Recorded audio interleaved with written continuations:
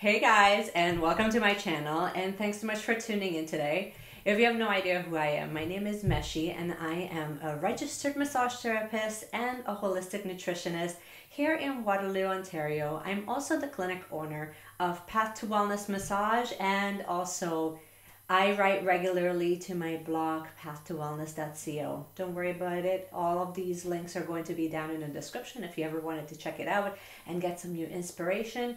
But today, I wanted to welcome you. This is such an exciting day. I wanted to welcome you to this segment where I will kick off my new wellness journey. So I'm all about honoring wellness as an actual journey rather than looking at it like a single-handed destination. So I thought, why not, you know, actually document my full journey with running so here's a little background. Well, first of all, if you wanted to just uh, play it, I will create like a full playlist for this, so you can just click play. And if you wanted to learn more about it, you can also click on the subscribe button and the little bell, and, and it will always give you new updates whenever I release videos.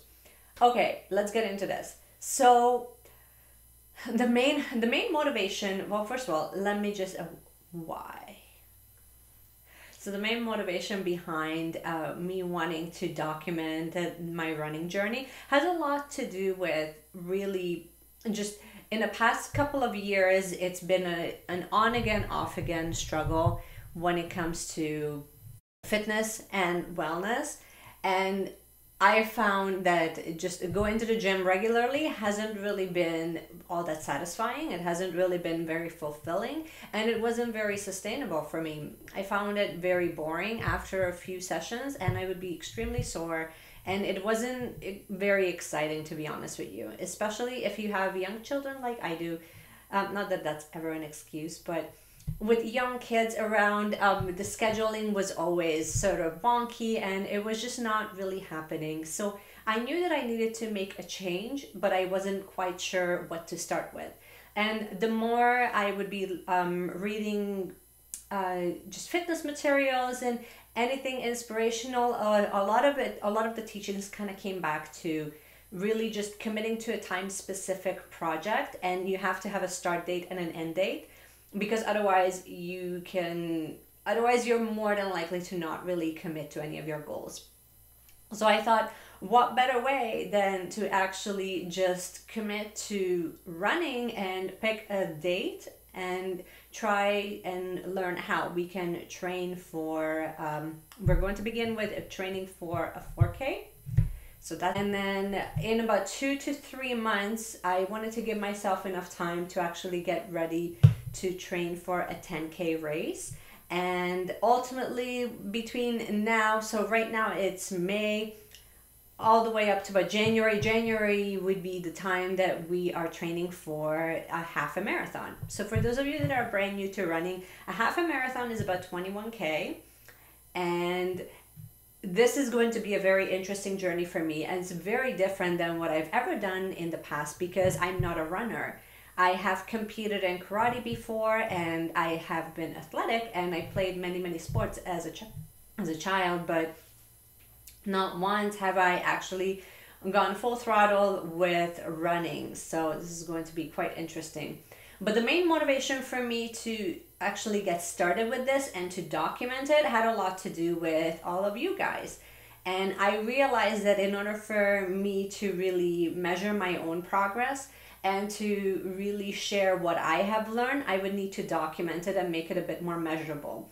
And I know that if I'm documenting it, it makes it a lot more easier for me to stick with it and have a lot more accountability. So I'm trying to basically eliminate all of the different elements that would allow me to just punk out. if if you want to kind of call it that. So I hope my big wish is it has not a lot to do with weight loss. My my fitness goals have not a lot to do with weight loss. I'm basically going to be measuring my progress with timing. So I'm measuring how much I'm able to run at any given time. So I'm measuring endurance. I'm going to talk to you about my progress, my the apps that I'm using, the things that I wore when it was cold outside, the things that I wore um, when I was running indoors, the main differences that I personally found. So I will give you my full review on that. I will also give you um, the app and then the breakdown of how each week progressed and also I will add some of the nutritional information as well, which I, you know, it's very, very near and dear to my heart as to what you can eat beforehand, what you can eat, you know, whatever you want, but what I was eating beforehand, what I was eating during, if I ate anything, and then also post workout as well. So if you're interested in following me along, which I, I truly hope that you are, and not because it's to be another video that you just get to watch and it becomes, you know, just healthful entertainment but i really hope that you will watch this so that it will it can be your source of inspiration and we can actually start a dialogue. Because my big hope is that some of you that are watching this are actual runners and you probably know a whole lot more about running than i do at this point. And I hope that you will come forward with your beautiful energy and with your amazing tips because this is exactly how we can all learn if we open up and if we share and we create this wonderful community where we can all get started with running and we can actually enjoy it as a beautiful sport that it actually is. So if you are interested, please keep on watching. I have created a full playlist, so let's get into this. And if you wanted to follow along the written version of this, I you can also find that I will have a link come up right around here and you can you can also read about it and I will write down again the apps and like all of the details if you would prefer to just not watch the video but you wanted to read instead you totally can do that too. And until next time I will see you in my next video. Bye.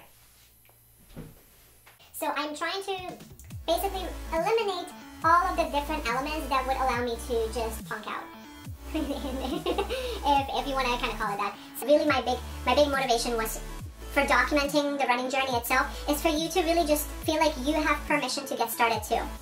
So mm, if you want to learn more about, you know, how I got started, um, I'm going to be covering in different videos basically what I, close the door. Sorry about that. Hey guys.